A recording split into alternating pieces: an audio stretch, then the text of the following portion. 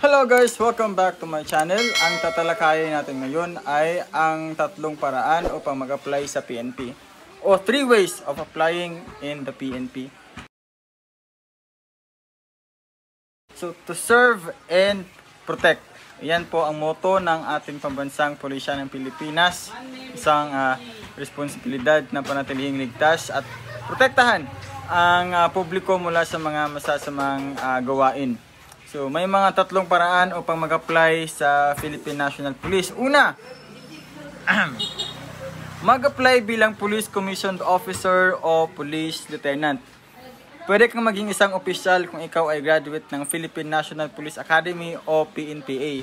Ang PNPA ay isang 4-year uh, course kung saan ninahanda ang isang kadete na maging equipped in terms of physical, mental, and emotional to become an officer.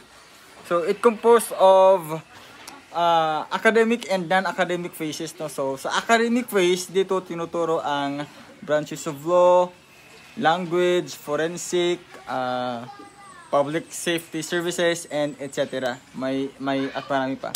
So sa non-acad naman, dito tinitest ang uh, individuals uh, aptitude ang pagsagawa ng taktika, at dito din tinitest yung uh, physical fitness, no? Physical fitness ng uh, kadete.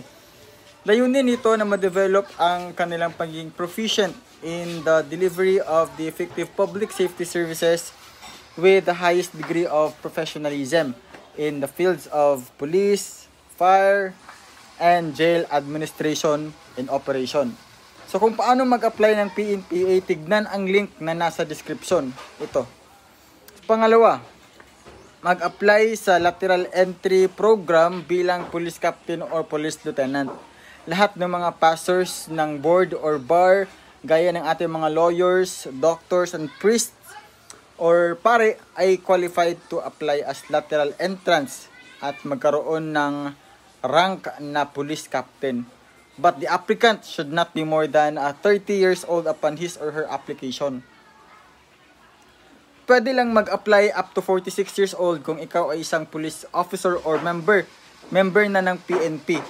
If you are a civilian and applying for lateral entry, you are request you are required to have at least one year of experience to practice your profession as a lawyer. Doctor or priest as required by the NAPOLCOM. Kung ikaw naman ay isang dentist, optometrist, nurse, engineer, uh, graduate ng criminologist, uh, you are also qualified to apply as police lieutenant. Pati mga psychologists and IT graduates natin ay pwede din mag-apply. Pangatlo, mag-apply bilang patrolman o patrolwoman. Bago ka makapasok as non-commissioned officer or patrolman o patrolwoman, dapat ay maipasa mo muna ang mga requirements. So ano nga ba itong mga requirements natin? Unang-una, dapat ikaw ay graduate ng a 4-year course or baccalaureate degree. May merong baccalaureate degree. Dapat ay ikaw ay nasa 21 years old and not older than 30 years old.